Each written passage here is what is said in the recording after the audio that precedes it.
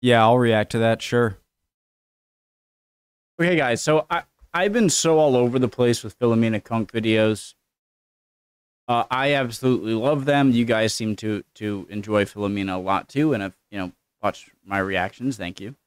But I, I, for some reason, like I I've jumped around. I've jumped around from highlights to like best of Philomena, you know, highlights um to Cunk on Earth, Cunk on Britain, and so I just I was just like, all right, I want to watch all of the episodes of of Philomena Cunk on Britain or uh, what's the other one, Cunk on Earth, and so I've done episodes three, four, and five of Cunk on Britain, and haven't done one and two.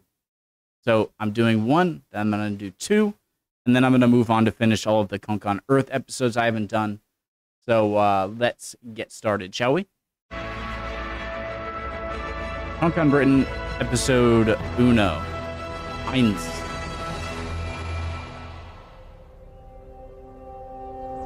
Actually, isn't that comfortable? It's hard to imagine while you're standing in it, but there was a time before Britain, before Europe, before the world, even before the universe. Nobody can say when it was, because it was also before clocks and words. It was a time when nothing existed, empty, without motion or energy or light or hope, just like Plymouth today. Just imagine something like this orange, and then imagine it's not there. Then do that one by one with everything that exists until there's nothing at all. That's what Britain was like until the Big Bang. The Big Bang created the universe in one mad explosion that was probably deafening, although luckily ears didn't exist yet. Computers think it looked like this, So did it make a sound? Ah? Hmm? although The tree falling? luckily ears didn't exist yet. Computers think it looked like this, although eyes also didn't exist back then either, so we can't be sure. And it was so long ago now, it's probably best not to keep dredging it up. Britain was already part of Earth, but it was scrunched in along with loads of other countries in a gigantic landmass called Pangaea.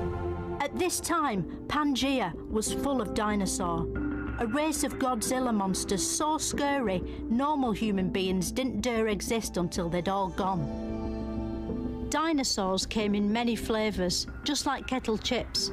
As this actual footage shows, the main good. ones were the across ones who ate grass, and the up and down ones who ate the across ones.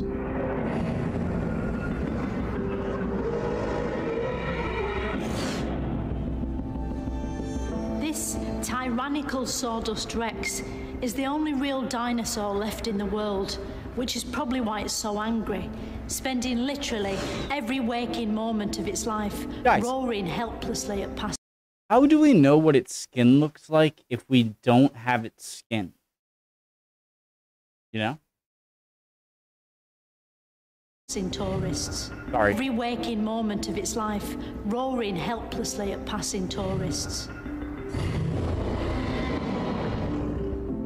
People wonder why the dinosaurs became extinct, although it's hardly surprising they died out when you see the barbaric conditions they're kept in, in zoos such as this one.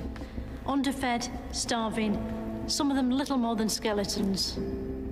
Luckily, the dinosaurs were soon replaced by different animals. Animals like me. Man.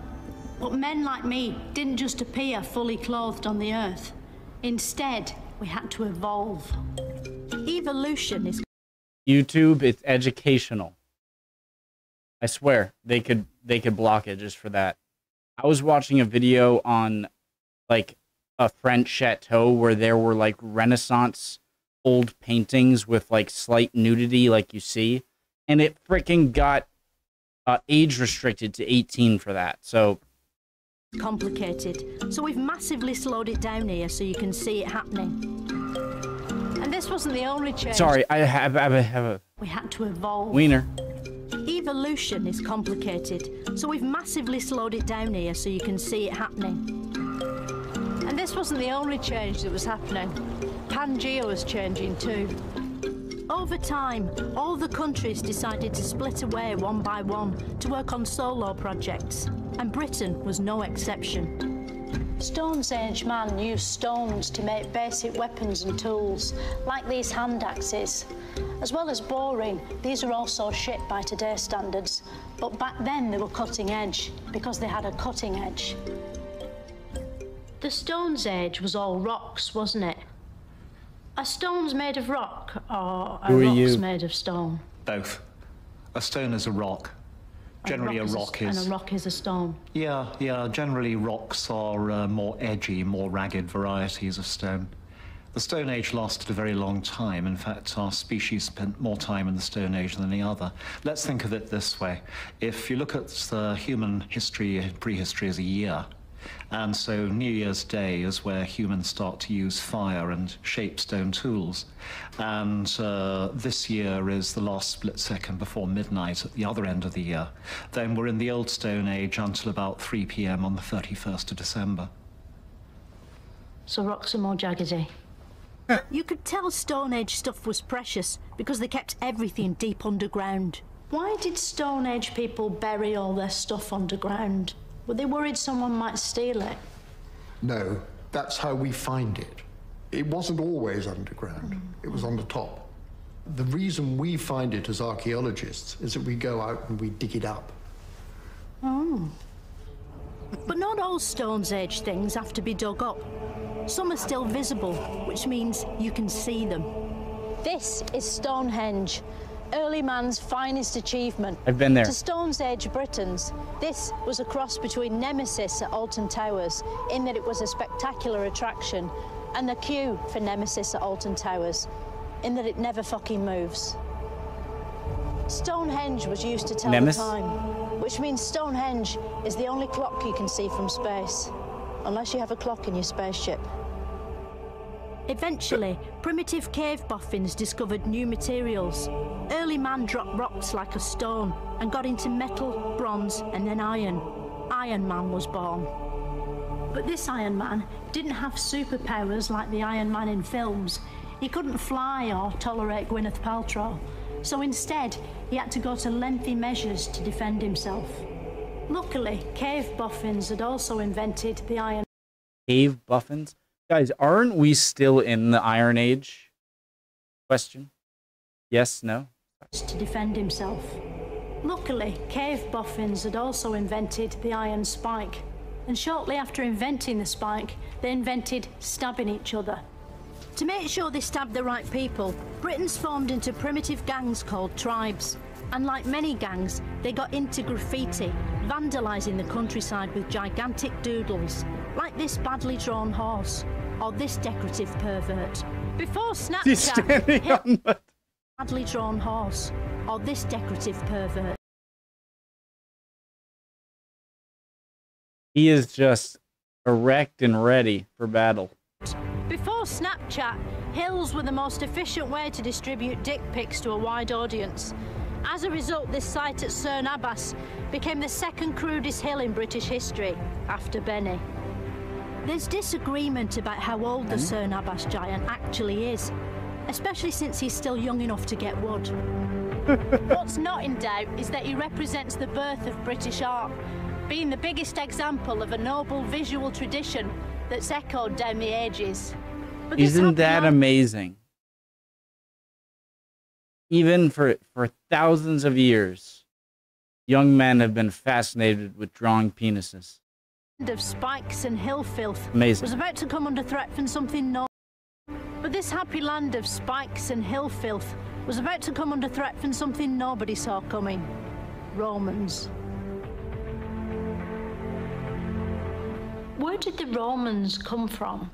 To begin with, they came from Rome, and then they came from the Roman Empire. Right, but where in Britain did they come from? Not from Britain, they came from Rome, which is What? in Italy. Right, well, this is about the history of Britain, so where in Britain did they come from? Well, the Romans came from Rome, and they headed northwards and conquered most of Europe. And then they crossed the English Channel and they conquered about half of Britain. And uh, where did they go once they were in Britain? Well, they tried to get to Scotland, but they decided it wasn't worth the effort of going there. Yeah, I felt that. You frickin' Scots. What what is in their genes? That just like people the enormous Roman army at its zenith, England being, you know, this by far dominant force on the British Isles for so many centuries. In just like Scotland, they all get to Scotland and they're like, uh, let's just build a wall here. That's not worth it. Like how how were they just freaking clinically insane psychopaths? And they were just like, yeah, nope, just don't just don't go over there. The Romans were so advanced, they came with Latin pre-installed, and they soon taught the primitive locals how to wash and Who, walk. who, who, who? Latin. I felt that. The Romans eh. were so advanced, they came with Latin pre-installed, and they soon taught the primitive locals how to wash and walk on their hind legs. The Romans were fearsome in battle, but soon found themselves facing resistance from some British locals known as Celts. There was heavy fighting, although according to experts, it wouldn't have quite looked like this. Boudica? Celts famously would, um, the warriors would strip naked, paint themselves in designs, and go into battle naked. They believed that by painting themselves in designs, that they were uh, calling out to their gods up in the sky for protection and for courage and for help. Did the Romans have chainmail then? They had um, uh, armour of a sort. They had armour and they were naked. Yeah. They Who have- won? Well, The Romans. the Romans won in the end. I knew it. I bet when the Celts turned up naked and saw what the Romans had on, I bet they were kicking themselves. I bet they felt stupid. I bet they were like, who suggested this? Spoilers. And guys, how do we know, like, if they didn't have a written historical record, how do we know? Do we just assume that the painting was some religious type pagan thing?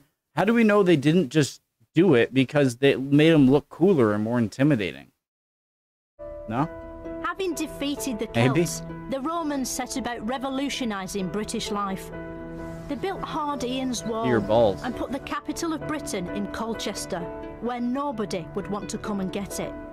They introduced coins and invented these primitive 8 bit computer game graphics, but couldn't make them move. What the Romans really loved was bathing, Brain eating amoeba. Don't go in there. which is why they built this in the English town of Bath.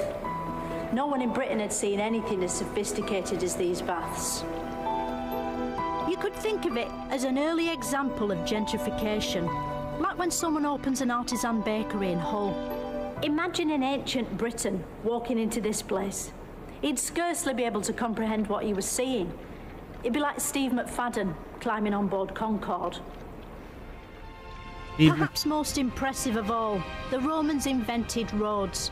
Before roads was invented, you had to travel around by standing at the edge of your village and seeing how far you could jump. Despite all this, some people resisted the Roman invasion. Queen Boudica came from Norfolk, like so many rebels. at the end they screwed up and they were so confident they took their family families to the battlefield and then lost and but um I wasn't even sure if she was a real person. I just recently, and by recently I mean the past like year, um learned about who Boudica was. And apparently she was a real person. So she's like a Joan of Arc type figure. Um what was I going to say? I, I, My legion. Queen Boudica came from Norfolk, like so many rebels. Myleene Klass, Ed Balls, Delia Smith. Boudica hated the Romans. She led a barbarian army in revolt and attacked Colchester, turning it from the bustling capital into a smouldering hellhole full of weeping and despair, which you can still visit today. Rome was the most advanced warfare machine on the planet, but Boudica's army fought back with the weapon they knew best, spikes, and lost because it's just spikes. Once Boudica was crushed, the Romans ruled over Britain for years, until suddenly they had to rush home because they remembered they'd left a complete collapse of civilization on. Britain was left on its own. It had taken Really? back control from the unelected bureaucrats of Rome and was free at last to explore its own proud destiny. And it did that by immediately entering the Dark Ages. We don't know a huge amount about what actually happened during the Dark Ages because the Romans had taken the last pens with them. That's probably why it became a time of myth and great heroes like King Arthur. Came a lot. King Arthur came a lot, didn't he? How did I know she was going to say that? The reason I'm not, I laughed very hard when I heard it. I saw that in the highlight. No more highlight watching. Full episodes. I, th- I think you mean that he's associated with the court of Camelot. No, it definitely says Maybe both. King Arthur came a lot. Camelot. Camelot. Yeah, it's it's his court where he where he held court. It's it's a place. All right. But do we know if he came a lot? Or like just the same as an average man? Like about a tablespoon? Tablespoon. The only evidence I have in that regard is that he is said to have had one child. Right. So probably not. Probably not. Even though he didn't exist, King Arthur lived in a castle called Camelot, where he founded the Round Table, even though he didn't do that either. The Round Table was a sort of lazy Susan, which meant the knights could get at the snacks they wanted without having to move around in their armour. But perhaps the greatest Jesus. British icon to emerge during the Dark Ages was mega patriot and dragon slayer St. George. Who? We don't know where or when George slayed the dragon, but we know it definitely happened because a bystander took this painting of the event. And it probably happened somewhere in Wales. It's one of the few concrete facts to come out of the Dark Ages. Do we know for certain the dragon was threatening St. George? Or do we just jump to conclusions because of the way the dragon looked? Why? Why is a dragon such like a uh, not a universal, but it's definitely a thing in in China in like East Asia. Um, and it's definitely a thing in in European like folklore and stuff. Is it just that like lizards are really intimidating and like a flying lizard that'd be even more intimidating? And so it's like they just made up this sort of centaur or well they they made up cyclops right like a giant thing Um, well, uh, the story of St. George killing the dragon isn't actually true because there are no dragons. After he killed Lies. the dragon, how was he rewarded? I mean, what's better than a saint? princess Well, he didn't kill the dragon because dragons don't exist. It's made up. But is it true to say he was the greatest Englishman who ever lived? The thing about St. George is that he wasn't actually English. His what the hell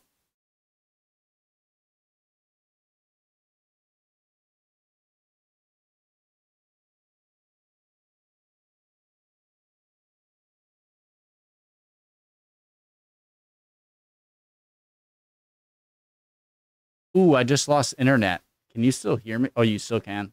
I just lost internet, guys.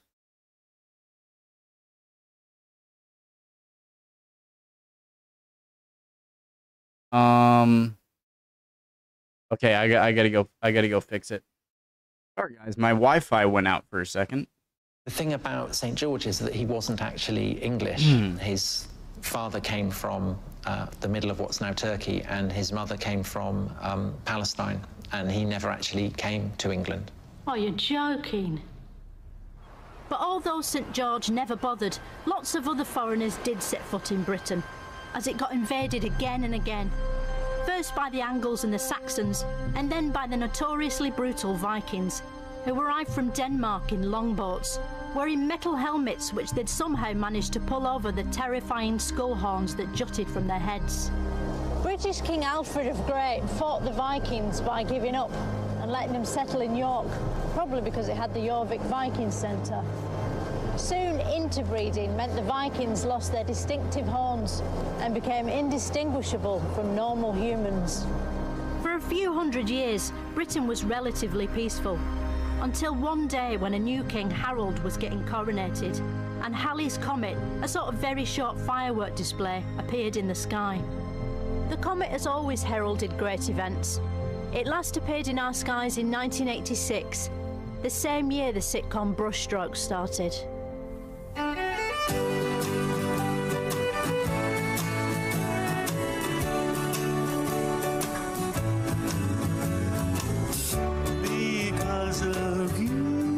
Hiccups.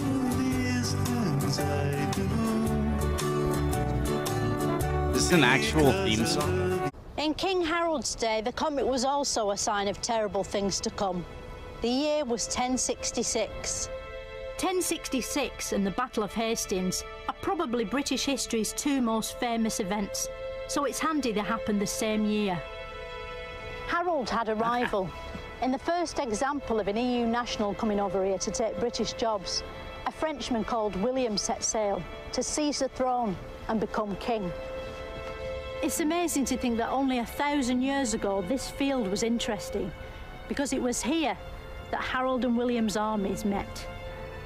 There have been many battles in Britain's history, but we don't know what happened in most of them. The Battle of Hastings is different. We've got an accurate visual record of the whole thing, thanks to a quick thinking bystander who took a tapestry of it. Despite looking like a Game of Thrones season finale drawn Guys, by guys, all right, jokes aside, I always, I can't freaking get comfortable. I always, I, I realize that, uh, looking at, at every, kind of like a moment of like looking at any sort of depiction of, uh, war scenes or anything, it's like, oh yeah, that, that that's entirely from memory, right? Or or it, it- maybe not even from memory, but some kind of like glorified depiction of the battle of. Yeah. So, anyways, jokes aside, I I think that's. It, was- just forget it. I, th- I thought it was ah. The Baywatch tapestry, like looking like a Game of Thrones season finale drawn by an eight year old boy, the Baywatch tapestry captures the full force of the battle. It's just like being there, but in wool. Here's the Norman archers steaming in on their blue horses. Here's a sort of stick fight bit, some chopped up people down here. His head's off. You'll be furious about that. Some goose monsters in the sky looking down. Some sort of lion thing up here, eating its own tail. Is that its bumhole? I think that's its bumhole. As you can see, Harold won when he triumphantly caught an arrow in his eye. Sadly, it wasn't enough, and he died soon after.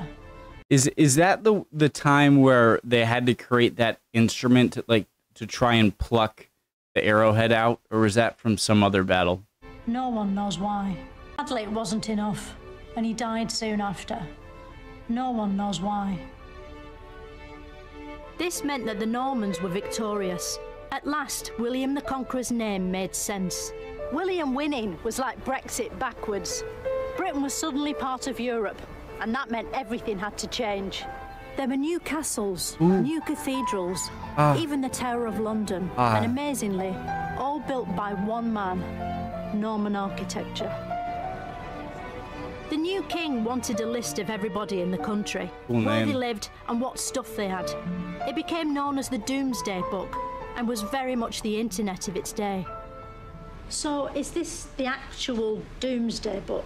This is the actual Domesday Book, yes. And it's usually under glass, isn't it? This book. Well, usually it's not accessible at all, so it's very rarely um, on display. Um, so this is really quite a special occasion that we've got it out for you to be able to see it today. So, you're not allowed to touch it? No. I thought that was because of the curse. The curse? Yeah, I heard that there was a curse on it. I've definitely not heard that, so I, I don't think there's a curse. I thought it was going to be like, you know, Raiders of the Lost Ark, Mm-hmm. where that Nazi gets his face melted Yeah, off. yeah. I thought it was going to be like that. I'm afraid not. Oh. So, how does the Domesday Book compare to a book like The Runaway by Martina Cole? Well, I've not read The Runaway by Thank. Martina Cole, but It's I think really good. Okay, I think that's a work of fiction. So it's a made up story, whereas Domesday is recording the land and land holding in England before the Norman Conquest and after the Norman Conquest. It kind of lists um, who holds land and what's within that land and how much it's worth, and it does that in a lot of detail. Um, so Roger holds a land here called, it's just called uh, Milderhope. It's probably going to have a different name now. So, how can we free the people living in this book? Well, they don't live in the book. But their souls are inside the book. I don't think that's necessarily true. I think this records information about them, but it, it's not, they're not in there. It's just, you know, it's just a record about them. It's, it's, it doesn't sort of Aw. contain their being or anything like that. We don't need to worry about it. Worthless. You sure? I'm sure. Guys, everyone talks about, you know, Philomena is great. Uh, Diane Morgan, fantastic. But I, I read this in the comments of one of the videos. So true.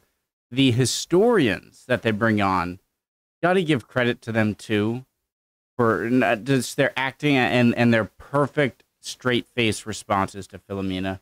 I would love to see like how many takes it took or something, or if they always just stone faced it. Book gives us a unique insight into what life would have been like in the Middle Ages. In the medieval times, if you were lucky enough to be a king, or a knight, or a lady with a pointy hat with all nets on it, you might have lived somewhere like this a castle. Castles were originally built by kings to protect their land and to sit in, whereas today they're mainly used as extortionate wedding venues. Of course, not everyone was a king, everyone else was peasants. Peasants lived in thatched wooden huts full of chicken shit. The water was filthy, so everyone drank beer, and the only thing to eat was bread. It was a particularly challenging time for the gluten intolerant, but luckily nobody was yet middle class, so they just put up with it. But life for the common man was about to get better, thanks to the Magna Carta, a sort of terms and conditions notice King John had to sign. You guys ever like is it a coincidence like how come everyone in the past like 10 years has has developed some sort of uh, if you have a legitimate food allergy obviously i think but like i'm this or like i'm a pescat or i'm i'm vegetarian or like oh gluten free like well, how why it seems like everyone i like all foods okay? Let me just say that. Sign against his except olives will, which limited his. But life for the common man was about to get better, thanks to the Magna Carta, a sort of terms and conditions notice King John had to sign against his will, which limited his powers and gave citizens basic rights. The Magna Carta kick-started the whole of British political history, a history so complex even experts can no longer keep track of it. who are you What's the most political thing that's ever happened in Britain? Um, I, I'm not sure. Think. I mean, I think. Um, gosh, that's a that's that's that's a, a tricky question in the sense that there are definitely degrees of. Uh, gosh, what's the most political? So, so I, I, I, I, th- th- th- there are lots of things that are straightforwardly political, and then there are other things that are not. They're sort of halfway, I guess. But um, I, I can't. I genuinely can't identify the most political. Second most. Meanwhile, back in history, by the Middle Ages, medieval England was such a big deal. It was even happening in Scotland. The Scots have always been a proud, confident nation, ready to complain if they think they've not been given their own little section in a landmark history programme. But in 1296, Scotland was reluctantly under the rule of English Edward I. Robert the Bruce? One man wanted out William Wallace. No one knew what William Wallace looked like until 1995 when Hollywood scientists discovered he looked exactly like Mel Gibson, who was coincidentally playing a Scottish Apache in a film called Braveheart, a sort of Scottish reboot of Dancing with Wolves. I don't want to hear it. One of my favorite movies. Yeah, historically accurate. Uh. So good though. Come on.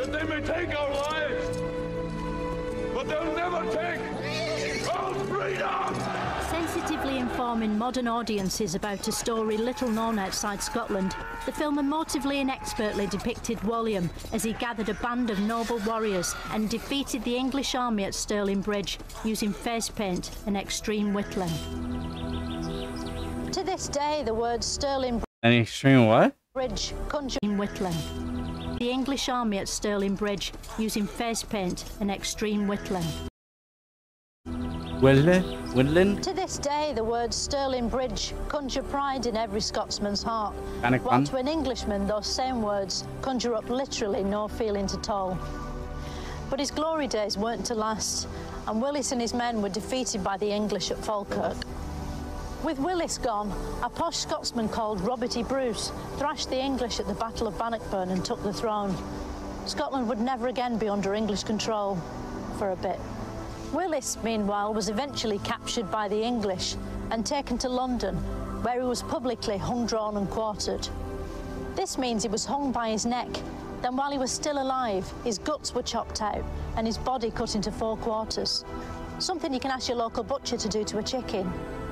Once it had stopped screaming, Wallace's severed head was placed atop a pike on London Bridge. Screaming, Wallace's severed head was placed atop a pike on London Bridge, like a sort of gory Scottish pez. Wallace's execution kicked off a golden age of public entertainment. As well as watching people die painfully, popular pastimes included bear baiting, shin kicking, and cockfighting, which isn't what it sounds like, even though I checked twice. But British culture wasn't just being cruel to animals, it was also bum jokes. And the William Shakespeare of bum jokes was Geoffrey Chaucer. His greatest work was the Canterbury Tales, which everyone has pretended to have read at least some of. Sorry. His stories feature lots of bawdy shenanigans, a literary phrase which means knockers popping out, or things unexpectedly going up your arse, accompanied by a sort of swanee whistle noise. Chaucer's meant to be quite rude, isn't he? Could you describe. Chaucer's meant to be quite rude, isn't he? Could you describe a rude bit for me? Came. So there's a very famous scene where um, there's a woman, a very pretty woman called Alison, who everyone fancies, and she's in her bedroom with one lover, and then another would-be lover arrives at the window I- I've heard, I've heard this story. to serenade her and begs her for a kiss. And she sticks her arse out of the window, her naked arse, and he kisses that very enthusiastically, and then suddenly realizes what he's done and is quite upset and runs away. Right, that's not Why? Why was he? very rude, is it? Like, my mate Paul told me this joke about this bloke in prison who wore a bib round his backside.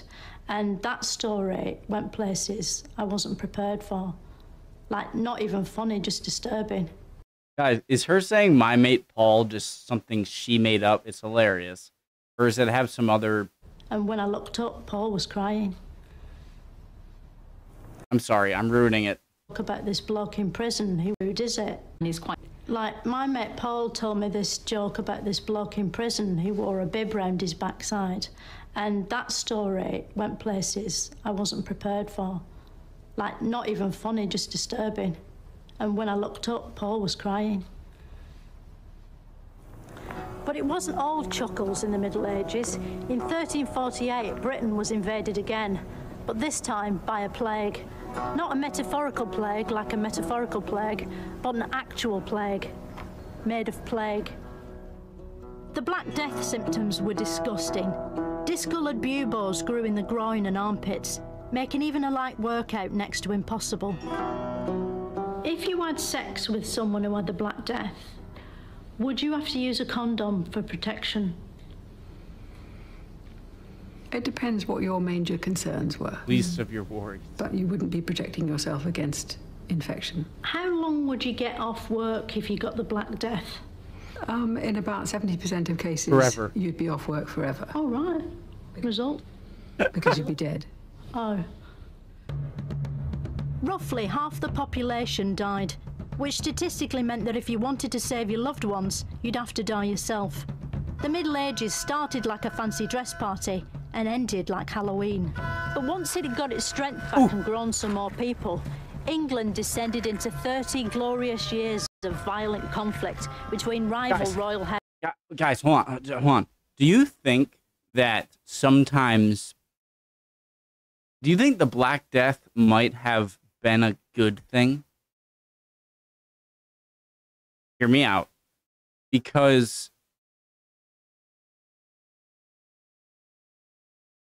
well, like Halloween. because then like the stronger would But once it oh, got its strength back and grown some more people, England descended into 30 glorious years of violent conflict between rival royal houses. The War of the Roses, which sounds like a sitcom about florists, but perhaps surprisingly wasn't. This was an incredibly complex period of history, which is frustrating because we've got to get it out of the way in this episode, and we spent too long talking about Mel Gibson earlier. The War of the Roses is a complicated struggle, but could you sum it up for my viewers in like three words? Uh, conspiracy, dynasty, war. Could you do it a bit more thoroughly than that? I'll give you 10 seconds. Start. Uh, it's a struggle to control England and the crown. I've got a few more seconds. Between warring uh, Stop. Perhaps the most violent event of the War of the Roses was the Battle of Bosworth, which Richard III tried to escape by burrowing under a car park. He hid down there for centuries before finally emerging in 2013, by which point the war was over and he died of tarmac inhalation. Which Richard III tried to escape by burrowing under a car park. He hid down there for centuries before finally emerging in 2000. you never caught me. 13, by which point the war was over and he died of tarmac inhalation. Richard III may have died, but he gave birth to a series of celebrity kings and queens, the Tudors, very much the Kardashians of British history. But that's a story that'll have to wait for now. Join me next time when I go back in time again. Not in an exciting way like in a film, I'm probably just looking at some old pots or something. How can we be sure Henry VIII is who we think he was? What if he was someone else just pretending to be himself, who happened to look like whoever he actually was? Uh, well, Got him. Got him. I love Diane Morgan. Um, I want to marry her. Sorry, that's that that go. I'm sorry, that was weird. But if she's single, hope you guys are doing well. I'd appreciate any and all comments, and I will see you next video. Bye, guys.